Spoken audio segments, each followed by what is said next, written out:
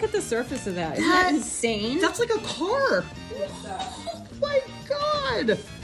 I cannot believe this. This is just the urethane with the alcohol. Yeah. Yes.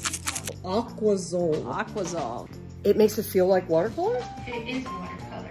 This is Aquazol with alcohol.